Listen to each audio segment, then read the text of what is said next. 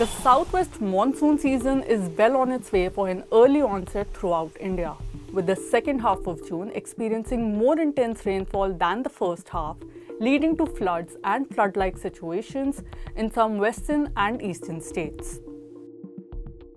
The southwest monsoon is on track to cover the entire country nearly two weeks ahead of schedule, according to meteorological data. After an early onset in Kerala on May 24th, more than a week before the typical June 1 arrival, the monsoon moved with rear speed through southern and western India. By May 26, it had reached Mumbai, which is its earliest arrival in the city in 25 years. A journey that normally takes 10 to 11 days from Kerala took just two days this time. Even before the monsoon officially began, large parts of the country experienced intense pre monsoon rainfall in May. This was largely due to a sharp rise in western disturbances, which are Mediterranean origin storm systems that typically appear once or twice in May. This year, the India Meteorological Department recorded 5 to 7 disturbances, contributing to unseasonal and often torrential downpours across the subcontinent.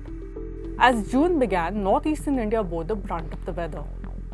Rainfall from late May continued into early June, causing widespread flooding and landslides. According to a report by Sphere India, at least 50 people were killed and almost 15,000 hectares of crops were damaged across the region. Assam has emerged as the worst affected state with 17 deaths and more than 633,000 people impacted across 21 districts. In Mizoram, a record 598 landslides were reported in 11 villages across four districts. While the northeast reeled under excess rainfall, central India saw a different pattern. From June 1st to 14th, the region experienced below normal rainfall only for the monsoon to revive around June 15th. Since then, states like Gujarat have begun witnessing flooding or flood like conditions as rainfall intensified.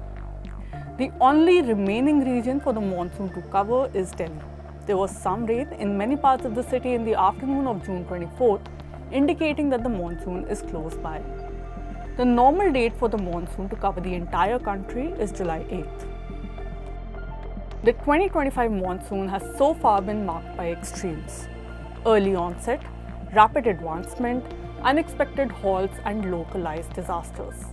With much of the season still ahead, the coming weeks will determine whether this pattern stabilizes or further anomalies emerge.